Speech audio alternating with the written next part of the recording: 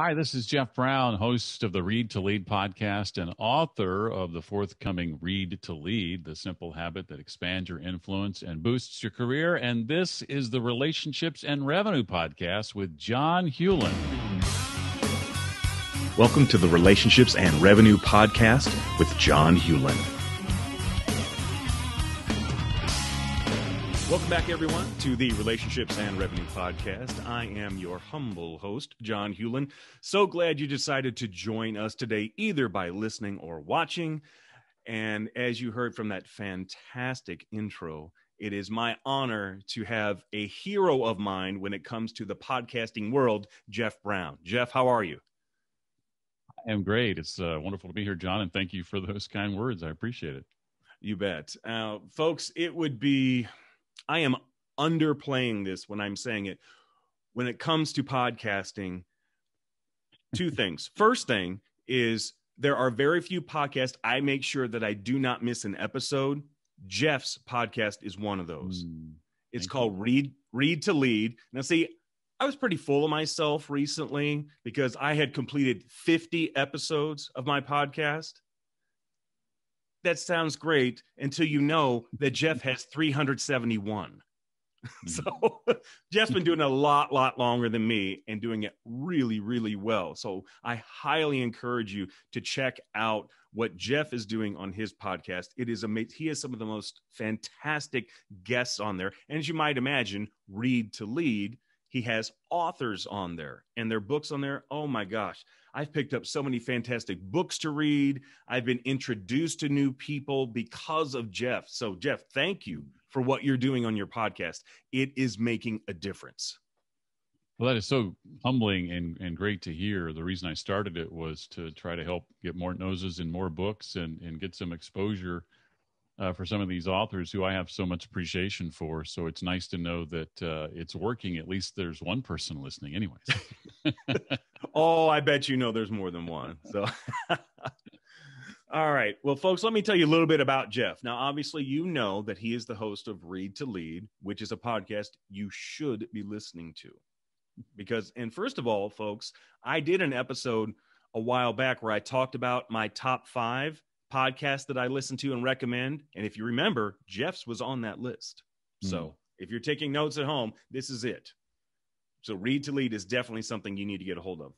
But besides the fact that Jeff is a podcaster and host of Read to Lead, he's a speaker, he's also a coach, and he's an author, as he mentioned before. He has written a book and it is coming out later this year in 2021. And if we are fortunate enough, we'll get Jeff back on here and we'll talk directly to him about the book. So mm. super excited about that. But he has another title. And my suspicion is that Jeff holds this title in the highest regard above all the others husband to Annie. uh, yes. And doer of whatever she says. As every good husband should. that's right. That's right. Yeah. I love that. So, Jeff, if anybody takes a look at your website, any of the social media platforms that you're on, it becomes very obvious very quickly you care about entrepreneurs. That's mm, it's very you. obvious that you care about entrepreneurs. And I I took something from your website and it says it this way. It says that you help bridge the gap between let's see, it helps if I could actually read my own handwriting. Bridge the gap between intention Thank you. Intention and implementation. See, I can't even read my own handwriting. See, we're being real here on the podcast, folks. So that's right. so help us understand more about what you mean by that. Yeah, it, it, you know, on the surface, it probably sounds very, very generic. Like a lot of people could say that, but um, I've, in my own background, in my own um, uh, past, um, I was very much a consumer of knowledge. Mm. And it took me a while to understand that knowledge is not power, as the as the saying or quote goes.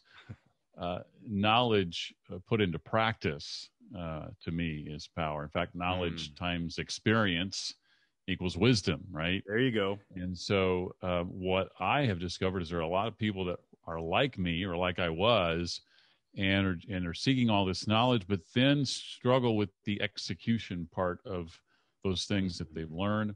Mm-hmm. uh, and and one of the things I struggle with is is books that they're reading and then putting into action what they're learning. Mm. And so it's my conversations with some of these authors where I try to make that a little bit easier to to manage as well as with the things that I write and the book that's coming out. It's all about uh, the the execution side of things, which I think is a is a struggle for a lot of people. Okay, okay. Well, you mentioned briefly about your background. Let's talk a little bit about that. Mm-hmm. Um, if you wouldn't mind, just kind of share with us your journey. Kind of how did mm-hmm. you start on this entrepreneurial journey, and what led you to where you are right now? Yeah, I was in radio for 26 years up until 2013. Um, and I think if memory serves, I've probably lost all but one radio job that I've had, some through no fault of my own. Uh, but uh, after that had happened a few times, uh, I began sort of working a side hustle and kind of dipping my toe into what would it be like if I were to do my own thing um, and have my own clients and I did that for and was doing that for about three years. Um, and that, at that point, I began talking to Annie, my wife, about you know what it might look like, what life might look like after radio. Like, what might I do if I were to leave my job? I had been doing it, as I said, for 26 years, and I'd kind of done all the things that I'd ever wanted to do in radio. Mm-hmm. Um, and we began having those conversations, and we set some dates and some goals. Uh, and about six months before those dates were to, to, transpire, I lost the radio job I had at the time. Mm-hmm. And that forced me to kind of move up my timeline. um, thankfully, I had been building that bridge, that side hustle. Mm-hmm. And so what I did was I jumped headfirst into that right out of the gate. Nice. And the interesting thing, John, was within 30 days of doing that and working on that full time, my take home pay in that 30 days was twice what my take home pay in 30 days was at the old job. Wow. And so even though that thing I was doing was not something I planned necessarily to do long term, between that and the severance that I received, I knew I had um, a longer runway than I initially thought I had mm. to figuring things out. So that gave me about six or eight months to to do exactly that, to figure things out. Nice. Um, I had already begun planning launching a podcast when this happened. Mm. In fact, the two days after I got let go, I had already scheduled an interview with my first guest. Mm. And so here I am interviewing Dan Miller for my episode, you know, one of my podcast. I had just been let go from my job wow. two days before that. And so, you know, that was in motion. That was going to happen anyway. But as that launched and began to sort of gain some traction, um, I realized I might be able to do some things with that that I hadn't really planned on. Wow. That's amazing. Now, first of all, it is not hard to tell that you have a background in radio. that is not hard. I hear that tell. a lot. yeah, I bet you do. do you? I'm just curious about this. Do you get mm-hmm. requests for like uh, voiceover work or uh, like someone they they like they write a book but it's like they don't like the sound of their own voice so they're like hey jeff would mm. you do the audio book for me that sort of thing you know i don't get a lot of requests because up until recently i haven't even put myself out there in that regard but in the hmm. last it's funny you mentioned that in the last couple of months i've started doing more of that type of work and making it known hmm. that i'm accepting that kind of work i actually had to audition to voice my own audiobook. by oh the way. my gosh! Wow. that I, I'm I'm happy to report I did get the gig, and I will be voicing that later next month. All right. All right. That's fantastic. Okay. So talk to us a little bit more about your podcast, about Read to Lead, just the mm. whole thought process behind process behind starting it, uh, mm-hmm. why you do it in the format that you do it. Why did you choose to emphasize not just the reading, but obviously bringing on authors as your guests and doing it primarily interview style? Yeah, I um I had thought about doing a podcast for about five years before I actually started one. Honestly, mm. I, about 2008 is when I began thinking about that, and it didn't launch till 2013. But I I didn't know what I'd do a podcast about. Mm. Um, this passion for reading that I have, um, it sort of died out when I was young and was reignited in about 2003 when I came across a book called Purple Cow by Seth Godin Mm. uh, uh, that kind of came about as a book club inside this company that I was later let go from. Um, and I just I just ate it up, and I, I just wasn't aware in my early 30s of what was out there in the book world, and Mm. and I was fascinated by marketing, and you know Seth, you know, was all about marketing, and then I read Pat Lencioni's Five Dysfunctions of a Team, and um, some John Maxwell uh, works, and I just couldn't get enough of it. And one day in 2013, I was on my way home from this job and listening to audiobooks, as I often did in, in- during my commute. hmm And I was counting up the books I had read and realized that I had been reading about a book a week Wow. um, so far that year. And when I realized I'd been reading a book a week, just the light bulb went off in my head, and I thought, well, maybe maybe there's a podcast idea there that I've been looking for. Um, I was I was quite taken with um, this sort of phrase that had been kicked around in my head that I'd heard. I think Michael Hyatt mentioned, and that was that leaders read and readers lead hmm and I shortened that to read to lead and and began planning the podcast as soon as that idea popped in my head Mm. and I as far as you know the format and all that um I was fascinated with these books I was reading. I thought, how cool would it be to actually interview the authors and disseminate the information that way versus just me reading it and summarizing it and doing a solo podcast, let's say. Mhm. Plus, I thought, you know, free books. So there's that too. yeah. Um, and I just thought, well, you know, I mean, I'm not a foreign in my radio background. I'm not, I'm not completely, um, what I mean is, um, uh,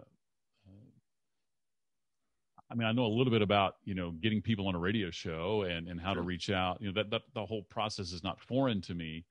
And so uh, I just began reaching out to people, starting with people I had relationships with. And Dan Miller, who I mentioned a moment ago, was one of those people. And I thought, well, Mm. he'll probably say yes. And then Dan introduced me to the guy who was the next guest on my podcast, you know, Mm. and et cetera, et cetera. So it kind of came about that way. And it just took off. I, I just loved doing it. And, you know, here eight years later, I'm still doing Oh yeah. And and folks, when I tell you that it is one that I listen to every time an episode comes out, there's something else you need to understand. Jeff's podcast is not only highly regarded, but it's highly ranked. I mean, lots and lots of people listen to this podcast. So I'm not telling you something that, you know, some Joe Schmo just started, you know, three weeks ago in his basement. Um, Jeff's been doing this a long time. 2013, right? Is when you started. Mhm, mhm. Okay. And as I mentioned, he has 371 episodes as of this week, which is mid to late May 2021 is when we're recording this. So that's why I tell you to pay attention. Jeff knows what he's doing. Let's go a little bit further with that, Jeff. So you have the podcast and you're doing it and you're inviting authors to come in. What I'm genuinely curious about who are some of the more fascinating guests that you've had? Uh, some that you expected it to be that way, and others you were surprised by. Hmm. Yeah, certainly one that I expected uh, to be fascinated by was Seth Godin. Um, Mhm. I mentioned my love for Purple Cow and the impact that had on me. In fact, he doesn't know it yet, but uh, my book coming out is dedicated in part to Seth Wow. um, for that reason. Um, but I expected him to bring the goods, and boy, did he. Um, I've had a chance to interview him a second time since then, uh, recently. Uh, but that was just a really surreal moment, too, having one of his books impacting me so greatly. And then several years later, interviewing him and sitting down with him one on one for, you know, half hour, 45 minutes or whatever it was. Mhm. Um, and, and Seth just has a way about him of um, such an economy of words. I mean, there's not one word wasted when Mm. he speaks. It's you would almost think uh, to be so well spoken and eloquent, like he's got a, a script in front of him 24 seven. Uh, yeah, again, no word is wasted, and it's just amazing to me how great a communicator he is. Mm. Um, uh, on the unexpected side, uh, there have been I don't, I don't know if I can think of a specific name, but I know in the in my in the recesses of my mind I can think of like several authors that the average person just wouldn't necessarily know by name. Mhm. um, who just really, you know, brought brought it. You know, I mean, they're just really uh, knocked it out of the park. I'm I'm trying to think of. Well, one is um, her book. I think has since gone on to be a bestseller, but I didn't get the sense a lot of people knew her at the time that I first interviewed her, interviewed her and that was Liz Wiseman. Uh, mm. a book called Multipliers How the Best Leaders Make Everyone Smarter. And that was a book mm. that impacted me a great deal when I was still working a regular job. And um, she was just fascinating to interview. And I just loved her book and have interviewed her a second or third time since. That book mm. is now out in the 10th anniversary edition, and she's released another book or two since then. So, um, yeah, yeah, I could rattle off a bunch of others that you know just aren't well known, but mm-hmm. who are made for great guests, great interviews. Mm. Uh, but Liz, Liz probably is the top of that list. Gotcha. All right. Well, let me ask a somewhat challenging question. Have you had some authors on as guests, and after you were finished with the interview, you were like, "I can't play this." It's hmm. just not listenable. I don't think is even a word, but you know what I mean when I say it. Yeah. Um, you know, and I've been asked that uh, before at, at conferences uh, when I'm speaking on, you know, maybe the topic of interviewing as it relates to hmm. podcasting. Mm-hmm. Um, and I I have a little bit of an advantage, I think, over most interviewers in that I'm interviewing authors who tend to get interviewed a lot. Oh. And so that means that not only are they more practiced, but also I have the ability to go out and hear what they've done before I invite them onto my show. Okay. And because I have that sort of built in to the structure of my show, it's rare that I get surprised. Mm-hmm. Um, in fact, if I uh, I can't think of a single instance where I have been, to be honest, John. And if I were, surprised, I'd have nobody to blame but myself. Okay. Um, it, would be my fault uh, because sure. I didn't do my homework, you know. And gotcha. so not everybody has that that advantage in who they interview. Mm-hmm. Um, but that was an, not an advantage that I planned or anticipated. But as I began doing the show, realized the advantage that that was. And so I, I go out of my way. Oftentimes, uh, you know, I'm getting pitched all the time. and that's one of the first things I'll do is I'll go out and, and listen to previous interviews or ask mm-hmm. that uh, they send a link. Sure. Um, you know, things like, or look for, you know, public speaking uh, videos on YouTube, that sort of thing. Mm-hmm. And that, that, that often eliminates, um, you know, that from happening. Wow. So how often are you getting pitched?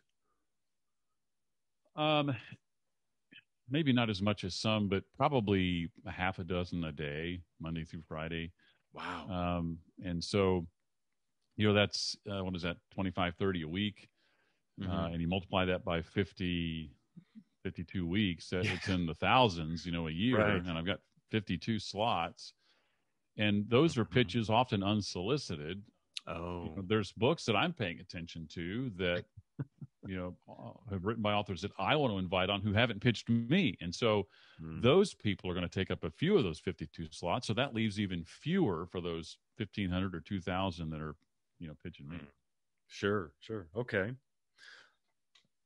I want to go a little bit different direction. It's hmm. related to the podcast, but yeah. as you went on with the podcast, you started adding some things to mm.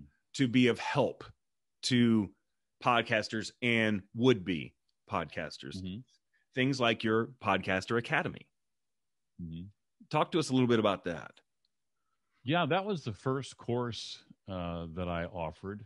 Um, and I hadn't been podcasting for very long. I think maybe six or eight months. I probably, mm. uh, you know, could have spent some more time in the space, but I began about four or five months into podcasting, getting requests from people mm-hmm. um, who were asking me if if I would did any training. They they either liked the show or they saw the the success it was having. I was in a mastermind group, and the people in the mastermind group telling me that I needed to do a course on podcasting. I was like, no, no. There's other. There's John Lee Dumas who just jumped into the fray at that time, and there's Cliff mm-hmm. Ravenscraft, and you know, I'm just you know I'm just Jeff, you know. but it wasn't until I started getting unsolicited requests uh, from listeners uh, mm-hmm. and people who were coming uh, to the show, you know, through other means, organically or whatnot, that I began to. It's kind of like you know, your parents can tell you something and you don't pay attention, but then a friend or mm-hmm. someone you don't know says something, and it's like the gospel. It was sort of one of those things. yeah.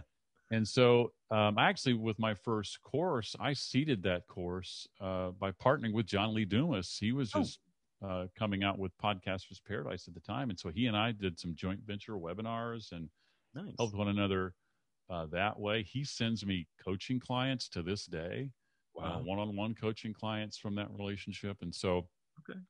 um, you know, I just taking that radio experience plus what I'd learned in the short time I'd been a podcaster uh, and much of my content complemented John's. Um, mine was much more of the craft, the art of interviewing, and, and mm-hmm. the craft of being a good host and talent coaching and things of mm-hmm. that nature. Whereas John's stuff was more the nuts and bolts, and that's why our our programs I think complemented one, one another so well. So that was my focus, and that's how I kind of distinguished myself and and people really seem to take to it and and it's kind of grown from from there Okay. Well, let's talk about some of the ways that it has grown and expanded. I mean, because you have mm-hmm. you have like mastermind groups and memberships, yeah. and so talk a little bit more about the offerings that you have. Yeah, as as I went along, you know, I just kept trying new things. If you look at my sort of monetization plan over the last seven, eight years, you know it's like each year there's like a new emphasis. And i didn't really have uh, and mike kim our mutual friend mike kim talks about this in his uh, new book which i just finished reading this morning. Um, and i didn't really have this intention when i started. I, I just would try something and you know launch a course and and make some money from doing that. And then i would think okay what are some recurring revenue things i could do? And well i could do a, a paid mastermind group or i could do a membership site and let me try that. And and then the next thing it was well you know group coaching or one-on-one coaching. Um, you know now more recently it's been writing a book. And so mm-hmm. um, i just uh, i get bored easily i guess. So i just kept trying new things. And many of these things have you know gone on to continue to make money every single month. Some of them are more you know launch focused or seasonal in nature. Sure. Um, but um, I just sort of, uh, you know, as I've tried each of those, I've honed them. I've gotten better. Some of them, some I've done two or three times now, mm-hmm. uh, courses and whatnot. And so, um, uh, you know, I've, I've, as you mentioned earlier, I've, I've, begun to bring voiceover into the mix. And so, uh, yeah, as as each thing comes along, I just I codify it. I you know do the SOPs. I, I, I write up you know procedures and all that kind of stuff so that if I need to, I can take all that I've learned later and then teach that, you know, and and and provide that as as further training to others trying to do what I'm doing down the road. Absolutely. Oh man, that is so smart. So, of all the things that you've been working on over the last eight years, which would you say was the most profitable to you, but not in terms of money? Something that's been profitable to you as a person that you feel like that really meant a lot to me. Hmm. Yeah, I would probably say um, my mastermind group uh, that I ran, the most recent one for three years, that had essentially, with a couple of exceptions, the same people mm-hmm. the duration. There were a couple of dropouts here and there, and then some new people brought in. Um, that is really rewarding to me. Um, mm. Just the opportunity to be in a room with like-minded people and people who are aren't as far along as I am, but who are committed and who um, are really serious about you know turning this into a business and and leaving a job and and and and supporting uh, their family or supplementing the family's income. Yeah. And just to be in that environment on a weekly or biweekly basis and and and truly help people uh, realize some of those those dreams, those things that I used to think I, I would never be able to accomplish, and now I've I've begun to, and in a position to help other people do the same. It's just, there's just nothing better than that. Oh, I agree. In fact, of all your offerings, that was the one I was going to guess that was the most meaningful to you with the mastermind groups, and it's just because we were created for connections. I mean, we just Mm, yeah. that's that's how we're designed as people. We're meant to be in relationships with each other. And you know, it's podcasting is great, but it's really hard to have that connection with the audience when they're not right here with us. Sure. You know, that's why, you know, I have an appreciation for some podcast hosts who actually have their, a small audience in there while they're recording. I think they're doing it for that reason is to have that connection with some people. And and they play off of it a little bit too, of course, but hmm I, I think that has a lot to do with it. Mm. So, one of the things that we talk about a lot on this podcast, not surprisingly because of the title, is we talk a lot about relationships. Mm. And so, something I ask every guest that I have come on is this What are you doing in your most significant personal relationships right now? How are you building into those? And what sort of impact do those relationships have upon your business? Hmm, that's a great question. Um, you know, there's a lot of intentionality uh, involved in that process. That's a word that immediately comes to mind. Um, I am, if you were to look at my schedule, uh, you would see whether it's my digital calendar or the analog version in my planner, you would see very little white space. I had somebody I was I was trying to instill in someone who was trying to get control of their of their time and was having trouble doing that. I was trying to get them to think in terms of planning out the week and they looked at my schedule and they saw very little white space and their comment was, "Well, I don't want to be that busy." and they, they didn't quite get what I was trying to to get across and that is, you know, I'm going to presumably, hopefully live throughout the week, live till the end of the week, right? Or the end of the month or the end of the year. Right. Let's go on that. Let's assume that. Well, if that's true, oh, I could die tomorrow, but if that's true, I can decide now in advance how I'm going to spend that time, or I could make it up as I go, or just plan certain appointments and, and not other key things, and wonder at the end of it all, well, why didn't it go the way I thought it was going to go? Mhm. Um, so I develop much, you know, I'm a student of Michael Hyatt. So I have an ideal week. I've identified what an ideal week looks like on paper. Now, does every week go that way? Usually not. But without first identifying the ideal, um, you're never going to have a snowball's chance in Hades of hitting it. So, For sure. so you, you've got to identify that first. And I say all that because it's not until you're willing to, I think, invest uh, in that in those sort of methods before you can make sure that the relationships in your life get the attention they deserve. So, Yeah. you know, it's those relationships are you know the big rocks. You know, and I look at my my year or my my quarter and I go, okay, well, where are those? Like, I've got an anniversary coming up soon, the, the big two zero. You know, and so Yeah. so there's some sort of some time been marked out on my calendar for quite a while for that relationship, especially around that time, um, and vacations and, and other family events and that sort of thing and friends. Um, you know, my wife and I have a date day every Wednesday. That's um. I've got some buddies that I meet with almost every Thursday night, and we, you know, uh, uh, enjoy a couple of cigars and some Mhm. scotch or or or or bourbon or whatever every now and then, you know.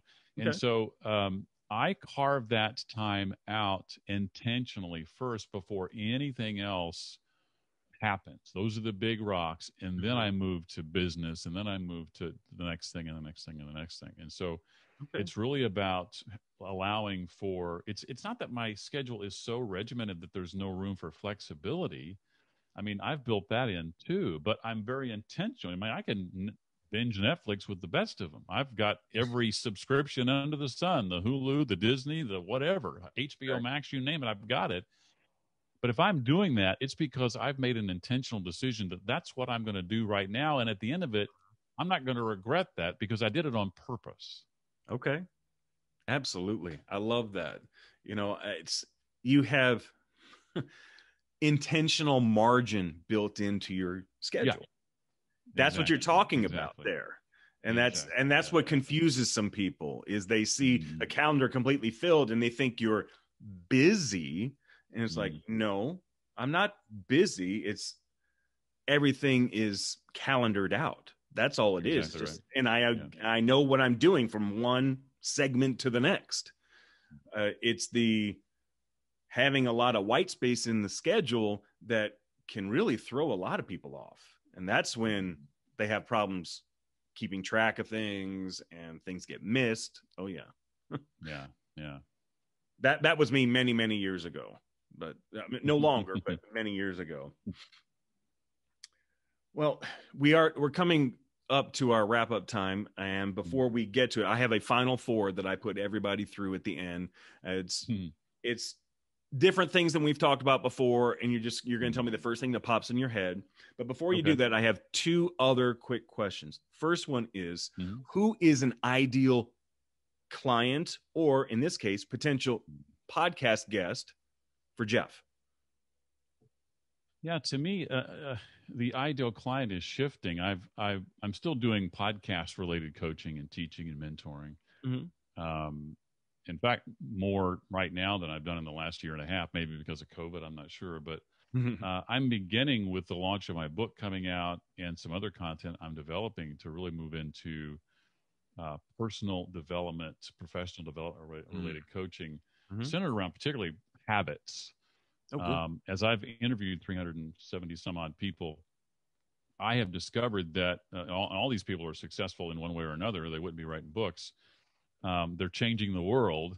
Mm. And I have found that there are five things that nearly all of them have in common. And so uh, I, I'm, I'm wanting to get out and train and teach and workshop these mm. habits uh, with CEOs and presidents and pastors and entrepreneurs and business owners because in fact i was just uh, giving a presentation to uh, a group yesterday of about 50 people online mm. um, on these habits um, because i think when you successfully install these five habits um, everything else falls into place mm. uh, it, and it's it's really and mike kim says this is in his new book uh, when you when i work on myself uh, and and make that the emphasis money just tends to just roll in. And mm. the odd thing is is when it does you care less about the money. Right. Um, and so that's that's kind of uh, something i can get behind. And, and it's really a, teaching people about how to put on their own mask first before trying to help somebody else with theirs and that when you yeah. do that the rest of life gets it's real simple. So to answer your question again it's ceos you know it's presidents it's it's executives it's it's people who um, as one person said to me yesterday you know how do you do some of this, Jeff? When I go to bed at night exhausted, um, you know, how do how do I how do I how do I stop going to bed exhausted? What are some how, how can I implement these habits in such a way that mm. that ends? And so, um, I'm really passionate about that and looking forward to doing more work in that space. Great, great. Okay. Um, last question before our final four. How can folks find you, Jeff? because I guarantee you there's going to be people after they hear or see this episode and are like, I need to connect with Jeff. What are some ways that people can do that? Yeah, uh, probably the best way is read to lead podcast.com. Mm-hmm. Um, there'll soon be a site for the book. It's not up yet. Uh, it won't be up until mid July, but uh, read to lead podcast.com is, is the best way right now. Okay, perfect. And folks, we will be sure the various ways to connect with Jeff and the other things that we talked about during this episode, we will put those in the show notes for you. So you'll have direct links to all of those. All right. Now we come to our final four. This is this is a very fun time for me. And you know, th- these are meant to be fun, somewhat lighthearted, but they are thought provoking as well. Mm-hmm. All right. So now this set of final four is going to be different than the set that I'll give you when we talk about your book. So, mm, okay. All right. So here we go. Question number one Why did God create Jeff? Hmm.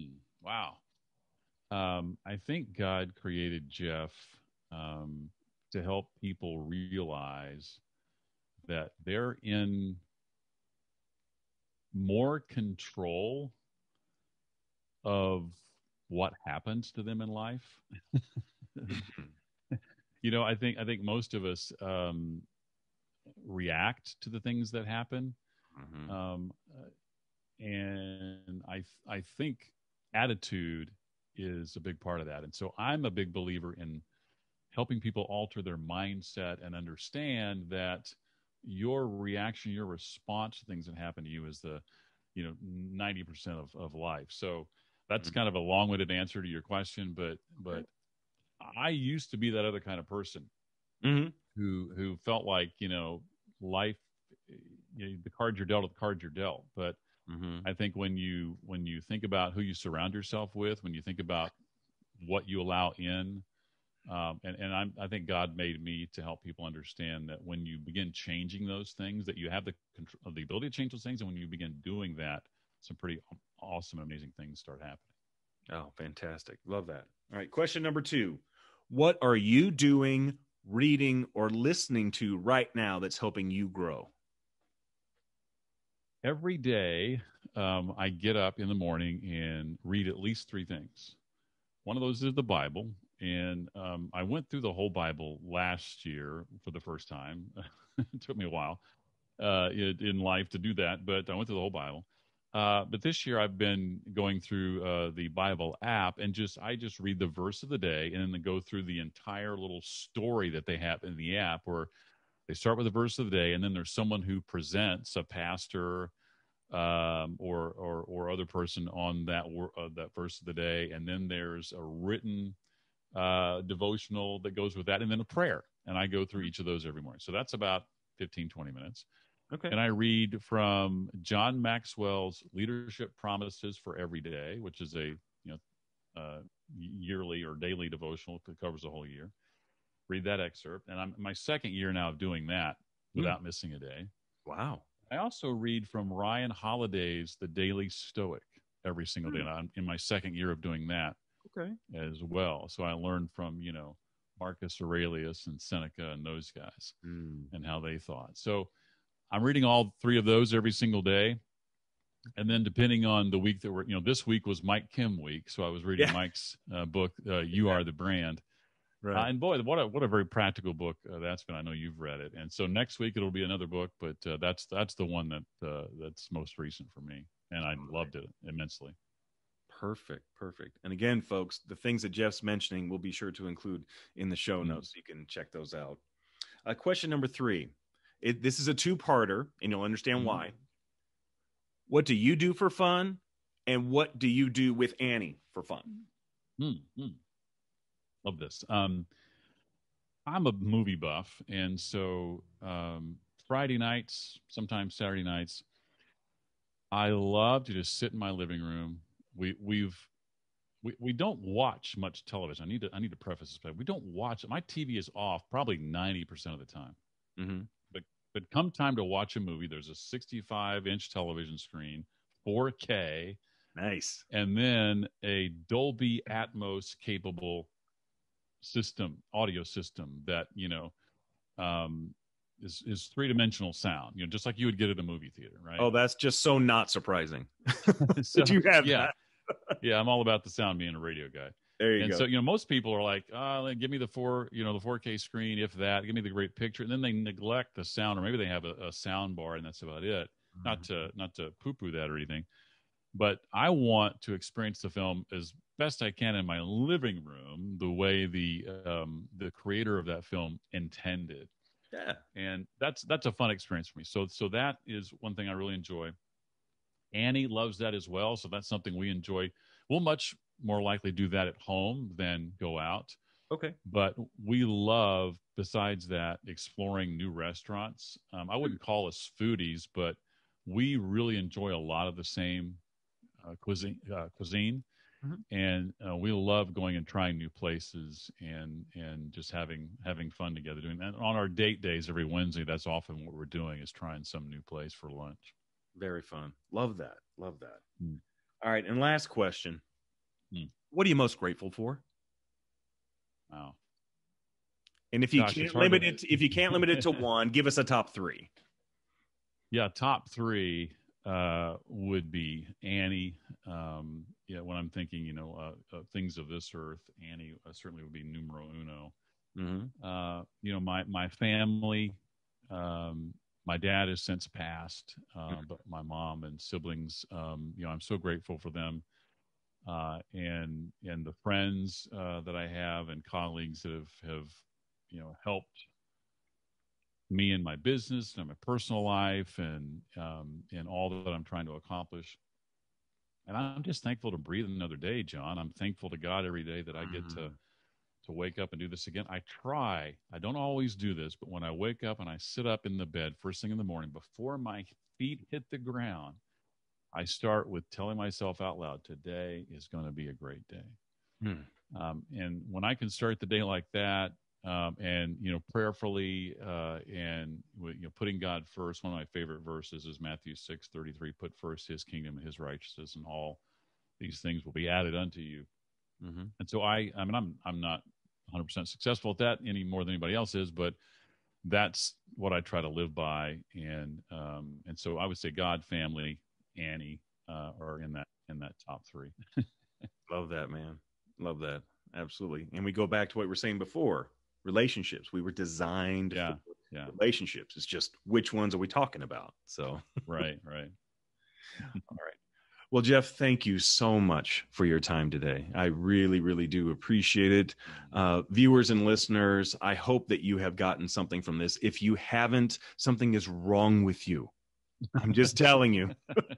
I'm being straight with you as I always am. If you haven't gotten something from what Jeff has said today, hit me back with a DM. We'll talk about it and I'll help you find something that you can use from this if you couldn't find something on your own. But I'm pretty mm-hmm. sure you can. Mm-hmm. So, again, Jeff, thank you so much for your time.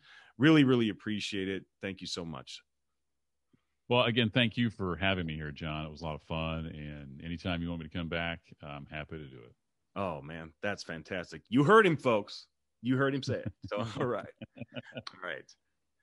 And for those of you who listen and watch on a regular basis, I am so grateful and thankful for all of you.